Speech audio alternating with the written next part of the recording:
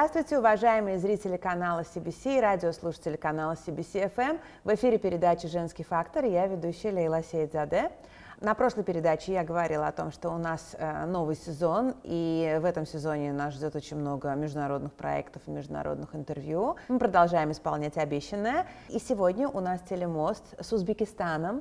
Э, у Азербайджана с Узбекистаном очень много связей во всех отношениях, и, конечно же, передача «Женский фактор» не могла остаться в стороне, потому что женщины — это главные игроки в налаживании диалога. У нас будет не один выпуск, э, связанный с Узбекистаном, и мы сегодня начинаем с нашей гости, которая э, сама по своему образу жизни, рождению, э, подходу к жизни э, объединяет на самом деле эти две страны. Очень знаковая сегодня у нас передача, потому что мы начинаем передачу с гости, которая этническая азербайджанка, но которая родилась в Узбекистане, живет, работает и также создала семью тоже э, в Узбекистане. Гюльнара Ханум Бабаджанова. Гюльнара Ханум является директором и партнером Центра профессиональной оценки «Интил», членом правления Общества оценщиков Узбекистана, а также советником Eurobroker Group.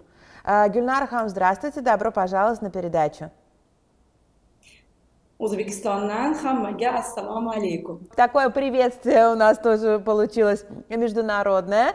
Очень приятно, а, что вы сегодня у нас на передаче. Мы сегодня будем говорить об Узбекистане глазами женщин, а, да, вот больше так, и о женском факторе как явлении в Узбекистане. Из перечисленных ваших должностей и регалий а, становится понятно, что в Узбекистане женщины также активны, как в Азербайджане, занимают э, посты э, и государственные, и общественные, и активно вовлечены в бизнес-жизнь. И я знаю, что вы активно выстраиваете также мосты между э, Азербайджаном и Узбекистаном. Ваша роль, э, я знаю, э, достаточно весомая в этом вопросе. И очень радостно, что Сегодня вы у нас на передаче приняли наше приглашение, и у меня к вам очень много вопросов по Узбекистану и по жизни женщин в Узбекистане. Добро пожаловать еще раз. А, расскажите о себе, потому что вы сама и есть носитель э, вот того мостика, скажем так. А, расскажите о том, э, где вы родились, эм, немножечко о жизни. Я Гульнара Бабаджанова, Урхан а, родилась в Узбекистане, в городе Ташкенте. А, родители у меня родились в Азербайджане. Закончила школу-гимназию, потом поступила, а, на тот момент это было при Центральном банке Республики Узбекистан, учеба по специальности банковское дело. Потом поступила в университет экономики Республики Узбекистан, но я как бы параллельно работала. А, свою первую, как бы, свою трудовую деятельность, да, я начала именно в банковской сфере. Ну, мне было вот как бы всегда интересно, я всегда, даже, вы знаете, сейчас молодежи, да, многим говорю, говорю, банк – это очень хорошая школа, потому что в дальнейшем, да, вы можете сами открыть, да, вот у вас будут свои бизнесы, и мы все знаем, что все операции как бы происходят, ну, проходят через э, именно банк. Э, в банке я начинала, э, первый это было у меня э, управление именно по IT, потом это был протокольный отдел, потом это было именно международные отношения, да, даже на тот момент, я помню, я у других банков тоже, да, вот что-то есть вот новое было, я, у меня сестра тоже банкир, кстати, она работала, я с ней советовалась, и мне всегда хотелось э, какие-то новые, да, вот, например, проектное финансирование открыть, что-то такое. То есть э, постоянно э, что-то хотелось новое вот, э, открывать. Гульнар Хан, из перечисленного можно сделать вывод, что вы э, работали не в традиционно женских сферах. То есть вы, в общем-то, начинали свою карьеру, и сейчас, э, так сказать, из перечисленного понятно, что э, ну, вы э, достаточно активную экономическую, социальную позицию занимаете э, как женщина. Можно ли по вам судить о э, положении женщин в Узбекистане? То есть э, активны ли женщины в Узбекистане? Да, женщины в Узбекистане очень активные. Сейчас, эм, э, вы знаете, вот э, со стороны нашего уважаемого президента Шавката э, Мирамановича Мирзияева очень много сейчас уделяется внимания именно, да, вот чтобы у нас сейчас очень много, например, на руководящих должностях женщин, потом э, всякие вот именно в IT-сфере тоже, да, вот сейчас начали, ну, чтобы вот было и в IT-сфере женщин, потом именно точные науки, а, потом очень э, много сейчас э, внимания уделяется именно образованию. Вот образование, чтобы э, со стороны государства выделяются гранты. Вот если, например, девушки, женщины хотят поступить в магистратуру, это все у нас сейчас идет за счет именно госбюджета. Потом девушки поступают через банки, например, можно взять у нас именно на контракты э, выделяется э, вот за обучение, да, чтобы контракты оплачивались. И э, беспроцентные, именно если девушка поступила. И также вы можете, например, закрывать эти контракты через 5 лет. То есть, имею в виду, да, вот это с этой стороны. Потом у нас была такая вот система внедрена, и там было очень много женщин, которые вот были включены в эту, ну это так тетрадь называлась. И там тоже э, очень много было им вот помощь, да, вот оказывалось, вот что экономическая стороны, что психологическая, что, ну, то есть э, имею в виду, что уделяется очень много времени, ну сейчас, да, вот именно очень много выделяется э, женщинам, чтобы они были и на руководящих должностях, Э, также у нас вот э, планируется да, вот увеличить именно долю женщин-студенток, э, которые обучаются по направлению именно точных наук. Ну, то есть это, например, техника да, и право. То есть вот на это тоже, да, каждый, каждый год именно изучение этих дисциплин. Это очень интересно, потому что ну, э, это новые достаточно сферы, и интересно, что государство уже поддерживает э, активно. Да, и то, что вот, э, да, компенсируется, да, вот именно за счет э, бюджета суммы контракта девушек, которые будут обучать еще магистратуру. Точно так же э, будут за счет именно госбюджетов, которые, например, хотят женщины учеными стать.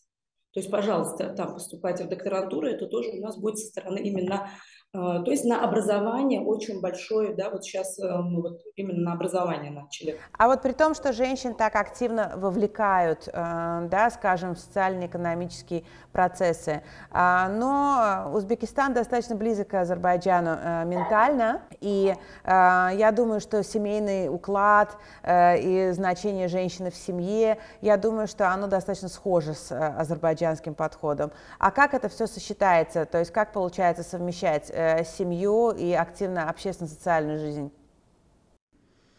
Ой, вы знаете, я всегда так говорю, что э, все зависит от человека самого. У нас в Узбекистане всегда так говорят: "Санна харакят, маннам бараке". То есть э, все за счет труда, да. Я считаю, что э, сами по себе женщины, они это сильные, и что если вот себе цель поставить, то можно, можно быть и прекрасной э, супругой, можно быть и прекрасной мамой, можно быть прекрасной невесткой, да, вот для своих именно.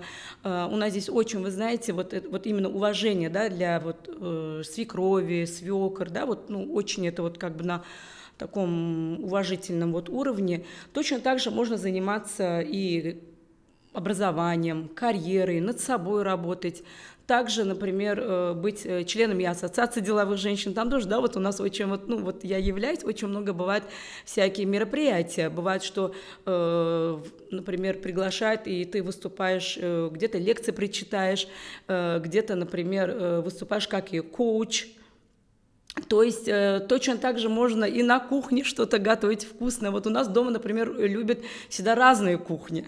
Но у вас супруг, он узбек, верно? Да, да, да, у меня супруг по национальности узбек. Вот у нас даже, вы знаете, я вот сейчас вспомнила такой момент, uh, у нас когда была свадьба, на тот момент uh, послом Азербайджана в Республике Узбекистан uh, был Аббасов Намик Рашидович. А я вот, ну, тоже, скажем так, э, тесно, да, очень так вот сотрудничала, там с молодежью работала вот при посольстве.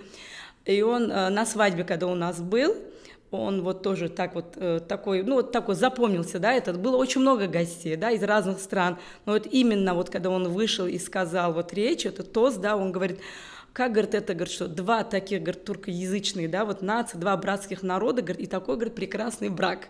Ну, честно, вот было очень, как бы, да, вот приятно. Имею в виду, ну, потому что мы все равно вот похожи, да, у нас вот менталитет, э, да, вот э, всякие обычаи все равно похожи. А расскажите немножко вот о роли женщины в семье. Вы говорите похоже. Какие ожидания от женщины, как правило? Ожидания? Вот я сама лично, а, когда я еще не была замужем, а, я всегда хотела жить э, со свекрами, со свекровью. Вот это вот было какое-то вот мое желание. Но это нестандартное желание, в общем-то, надо сказать. Когда иногда, да, говорила, например, да, э, своим там подружкам, знакомым, они говорят, Гульнар, как? Я говорю, мне нравится, потому что, знаете, вот мне нравится, когда дома есть вот именно вот эти вот люди, э, имею в виду свекор, свекровь, э, бабушки, дедушки, вот то есть вот с ними, когда вот какие-то вот ценности, вы от них много чего учитесь, с ними вместе сидеть. Мы вот, э, знаете, вот так вечером приходили все с работы, подытоживали, рассказывали друг другом. И я всегда говорила, что я бы хотела бы вот со свекровью своей быть вот как мама с дочкой. Это тоже был мой нет. Ну и как бы я вот у Всевышнего, да, вот как бы Аллах это и просила. И знаете, так и получилось так и получилось, что вот э, в семье я считаю, что все равно э, в семье вот эти вот ценности уважения, воспитания, да, вот какое-то вот э, взаимопонимание, это вот в семье должно быть. То есть э, система такая же, э, это взрослые, а, да, ну как старшие, а, Ахберчай, Ахсакал, как у нас, да, говорят. Да, да, да, знаете, это, это здесь есть, и вот мне, например, это очень, да, вот как бы всегда вот нравится, импонирует. Ну, вы знаете, как говорят же, яхшиният ярмаль, у нас вот так говорится. Из-за этого э, человек всегда должен вообще о хорошем. Я так считаю, что всегда должен хороший не делать, и о хорошем всегда. Это позитивные мысли, оптимистом быть, и вот это все человек сам как бы и притягивает. Когда мы говорим про узбекских мам, э, как узбекские мамы воспитывают детей? Узбекские мамы, э, вы знаете, воспитание здесь очень э, как бы большую роль играет. Я тогда считаю, что надо быть и другом, да, вот что вот твой ребенок, да, вот чувствовал, что вот вы как бы друг, э, вот это вот все давать, но в то же время я считаю, что э, с детишками и строгость должна быть, вот и построже, и и как друзья, ну то есть знаете, всему должна быть, вот везде должен быть баланс. Я так считаю, что нельзя и, и не так, и не так. Вот баланс, всегда нужно держать баланс. До пяти лет, говорит, надо Э, к детям говорит, относиться как к королям, а после пяти лет надо говорит, к детям относиться как к, к слугам. К рабам, да. Восточ... Да, да, да. Мы все-таки восточные, мы как-то вот мы стараемся. Ну, я вот, например, стараюсь детей своих с маленьких лет приучать к труду. Но при том у вас два мальчика. Да, у меня, да, у меня два, два сыночка как-то вот к труду, я всегда им говорю, вы завтра будете тоже, да, э, глава семьи, у вас будет семья, то есть вот как-то вот, ну, в семье мы стараемся, да, вот детям, чтобы не было так, что вот, э, да, вот дети вам все вот как бы так на блюдечке давать, нет. У меня всегда так, мотивация. Я вот всегда даю детям мотивацию. Гюльнар Хама, возвращаясь к общественной, социальной, профессиональной жизни, вы работаете практически со студенческих времен и достаточно нестандартной, скажем так, для женщин обстановке. Как вы строили карьеру свою? То есть не секрет, что есть э, сферы, где женщинам достаточно сложно пробиваться.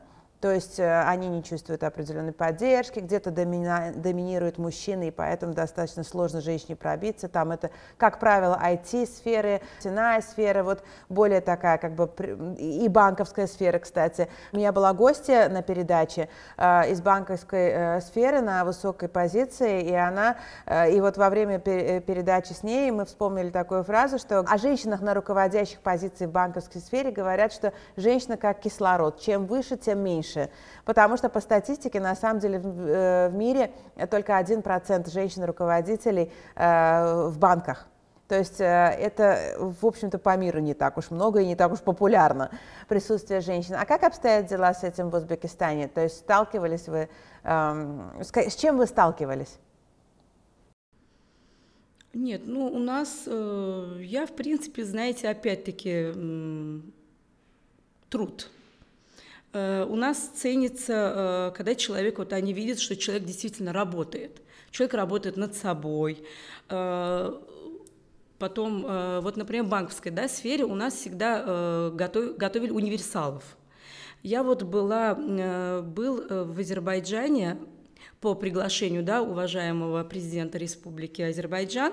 Я тоже была в этой делегации, съезд азербайджанцев мира, которые проживают за границей. Вот мы как бы, да, вот были в гостях, и на тот момент я, когда работала в банке, я хотела отношения сделать, вот, ну, между Азербайджаном и Узбекистаном.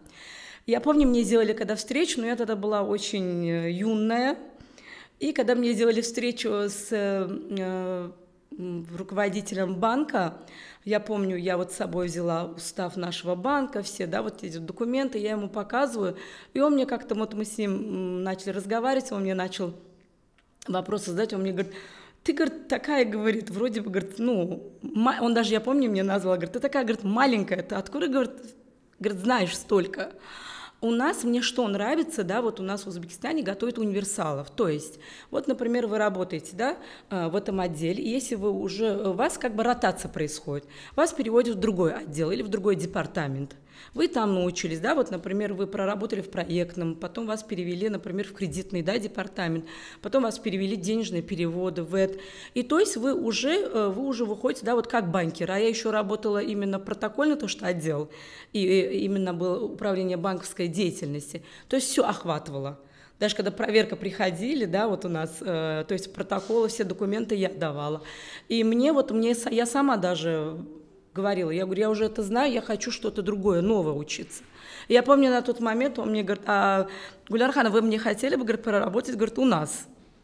Вот э, на тот момент, ну это было э, давно, э, ну тогда я была не замужем, а у нас э, э, папа очень строгий насчет этого, он как бы не пустил, да, вот, ну, очень много было даже, скажем, за границей учиться, но отец э, у нас э, как бы не пускал, но я всегда говорю, атаразы, как говорится, Аллах разы, то есть у нас в семье так было, да, ну, раз отец сказал, значит, он э, лучше знает жизнь, ему виднее. И вы знаете, я сейчас вот смотрю и говорю, я благодарна ему, честно сказать, за такое воспитание, что все-таки то, что вот он нас, он знал, да, вот он все-таки жизнь лучше нас знает. То есть я хочу сказать, что по карьере работали, пожалуйста, работаешь над собой, они видят, что э, человек справляется с работой, дают тебе расти.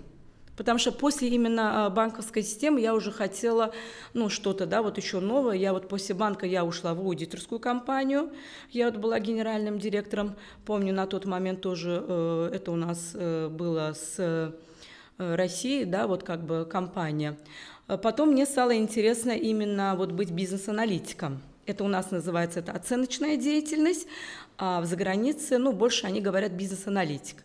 Потом вот уже пошла у меня оценочная деятельность.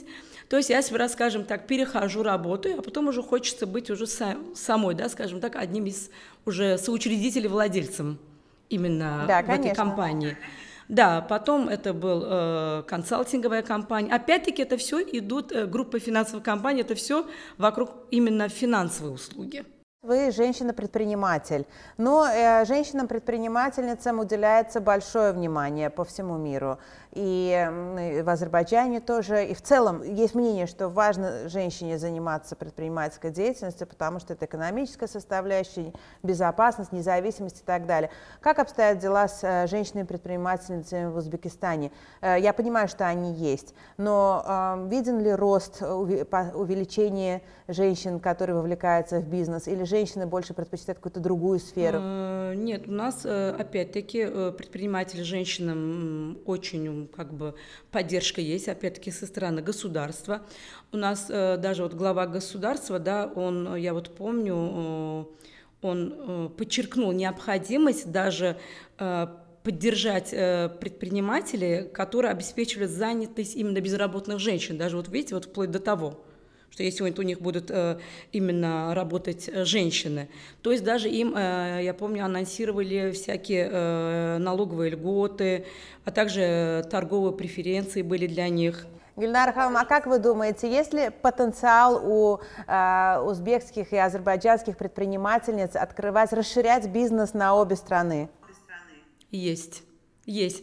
Даже, опять-таки, подчеркну, а, в, вот недавно, в мае месяце, ну это уже можно сказать, что на таком а, уровне, да, где у меня вот конференция, связанная именно с Азербайджаном, третья, вот первая, как я до этого сказала, это был съезд, это было, да, вот э, именно по приглашению э, уважаемого президента э, Республики Азербайджан. Вторая, это было мы евразийские, опять-таки, это бизнес-аналитика, евразийский такой конгресс был, когда именно Узбекистан тоже, да, вот стал как бы членом этой именно Евразийского конгресса. Он проходил как раз в городе Баку. И вот третья вот поездка, недавно это у нас была в мае, это именно э, туркоязычные страны, то есть э, объединить именно в сфере оценочной деятельности. Э, там вот у нас как раз э, участвовал, да, вот э, такие страны, как э, э, Турция, Азербайджан, Узбекистан, Казахстан, Кыргызстан и э, Кипр вот тоже, да, как бы вот участвовали. И там же, вы знаете, там же меня начали приглашать именно, да, вот, вот разные именно ассоциации деловых женщин, э, вот был такой э, Founder Club, есть вот Атюб, да, вот э, у нас опять-таки это Азербайджан, Турция, Узбекистан, как бы İş adamları Birliyi называется. Я там тоже, да, вот как бы имею в виду, с ними тоже я работаю. И э, мы когда были в Азербайджане, мы сказали, вот сейчас мы, иншаллах, хотим провести форум, а, то есть, э, например, да, вот э, женщины-предприниматели приедут в Узбекистан, а потом, например, именно сделать визит э, наших, да, вот наших узбекских женщин-предпринимателей в, именно в Азербайджан. Уже были, уже пару именно с женщин с Азербайджана приезжали, мы встречались, как бы, да, вот с ними. Также, когда в Азербайджане были, мы тоже встречались с академиками, женщинами, с профессорами, очень такие интересные личности. Нет-нет, мы с ними связываемся, да, вот по телефону. То есть очень интересно. А, Гюльнара Ханом, а, как вы думаете, в чем может быть а, особая роль женщин, именно женского фактора в укреплении и развитии связей вот этих двух стран? Вот в чем этот женский фактор? Знаете, много чего как бы через женщин, да, имею в виду, вот прислушивается, то есть какие-то идеи, что-то. Очень много сейчас есть, э, говорю же, вот разные вот э, бизнесы, да, вот выходят, говорят, вот давайте это сделаем, это сделаем. И как-то вот больше все-таки через женщин это идет, я так думаю.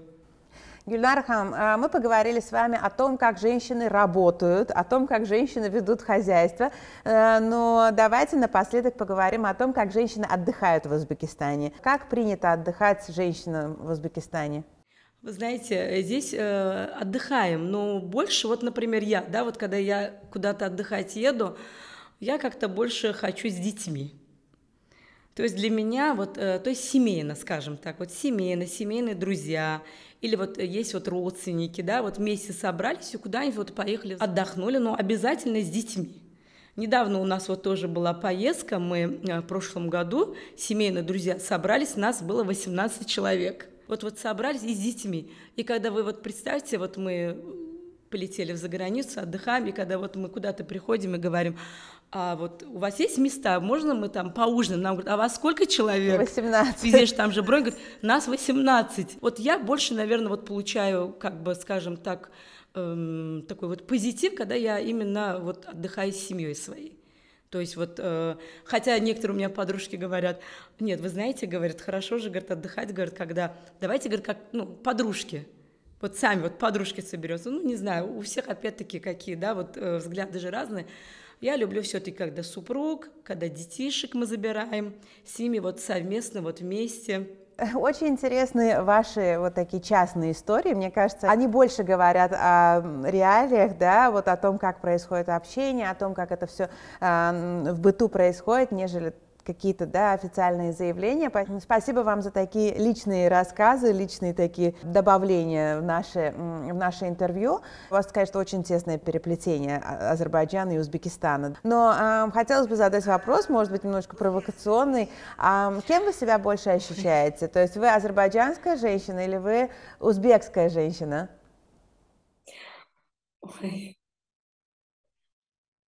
Я вот вспоминаю э, слова Гейдар Алиева. Он всегда же говорил, мен хемше де фахри ламшам, хемше де фахри лам, что мен Азербайджанием, да? То, что вот уже меня э, Всевышний Аллах создал, вот уже, да, что вот я родилась именно, да, альхамдулла, мусульманкой, азербайджанкой, э, но то, что я гражданка, именно вот я родилась э, в Узбекистане, э, что именно я гражданка Узбекистана, вот э, это тоже, да, я имею в виду вот я себя, наверное, ощущаю, что вот, э, скажем так, и узбечкой, и азербайджанкой, вот как бы так. То есть, скажем так, э, вне этих двух стран э, вы, когда спрашивают, есть ли здесь э, узбечки, вы тоже откликаетесь, я так понимаю, и на да, есть ли здесь да, азербайджанки? Да, да, да. Да, я, я, я просто это, да, да, я вот сейчас э, вспомнила, ну, ну, я сам по себе очень верующий человек. В марте месяце были в Мекке, да, в Умре с братишкой, вот мы мама, да, вот мы все поехали туда, и там тоже, вы знаете, давали разные нации, потому что мы же там вот все вот как бы ходим, одевали одежду, если вот что-то вот из национального адраса, нам даже все говорили, где вы это купили? Вот настолько, говорит, красиво, да, вот наш вот это вот адрас черно-белый, а мы там и вот халату как-то вот так вот, и мама, и я так были одеты, и братишка что-то, да, вот национальное. А, точно так же э, мы с мамой э, как бы одевали и наш вот азербайджанский, же вот платок наш шелковый. Калагай. Калагай, да. А там вот так на нас смотрели, все-таки вот эти вот, я имею в виду, да, вот по одежде же вот говорят же, именно вот арабы к нам вот подходили, да, вот арабы там больше турки, говорят, ой, говорит, э, как бы вы, вы именно, говорит, с Баку, говорит. То есть вот даже там, да, имею в виду, вот это вот есть. Да, у меня точно даже детишки тоже с такой прям вот, знаете, э, гордостью вот начинают говорить, что э, я, говорит, это, да, говорит, я наполовину, говорит, это узбек, наполовину, говорит, азербайджанец. Даже вот конкурс, когда был, э, там э, с разных стран, э, мой ребенок старший, Сулейман Имин, он, например, представлял Азербайджан и занял первое место. Он даже станцевал азербайджанский танец, все как бы, да, имею в виду. И также именно вот здесь у него был Азербайджан, вот первое место занял. Вот э, как бы у нас так, да. И также вот э, свекр, я всегда вспоминаю слова моего свекра, э, Аллах рахматилля сын, э, когда он в Ленинграде, аспирантура у него, да, вот докторскую все делал, защиту, он говорит, э, я всегда, говорит, сам, говорит, хотел, говорит, очень, говорит, жениться, говорит, на азербайджанке. Ну, вот, говорю, он очень такой у нас известный профессор, много книг выпустил, да, вот до сих пор э, в Ташкентской академии студенты многие занимаются по его именно учебному. Он и на внешность, вы знаете, когда я со свекром, э, мы были на мероприятиях, все думали, что он мой отец. Настолько вот я имею в виду вот внешность. Хотя чистокровный, чистокровный как бы узбек, да, он у меня – то есть я имею в виду настолько вот близкие, близкие, хочу сказать, э, по духу близкие все-таки эти две нации, э, Узбекистан и Азербайджан, они очень близкие. А, спасибо большое, Гюльнар Я думаю, что мы продолжим исследовать Узбекистан глазами женщин. А, это был наш первый выпуск. А, очень рада, что вы стали гостей именно этого выпуска. А, желаю вам успехов и много сил для продвижения и усиления связи между Узбекистаном, Азербайджаном и конкретно между азербайджанскими и узбекскими женщинами. Спасибо большое. Всех благ. До новых встреч. Ой, благодарю вас за приглашение. Вам также э, желаю всегда здоровья, благополучия и всем нам всегда мирного неба над головой. Спасибо. Благодарю. Уважаемые зрители и слушатели, это была передача «Женский фактор». Мы исследовали сегодня Узбекистан глазами э, Гюльнара Ханом, а впереди нас ждет э, много сюрпризов в этом сезоне. Оставайтесь с нами. Спасибо. До новых встреч.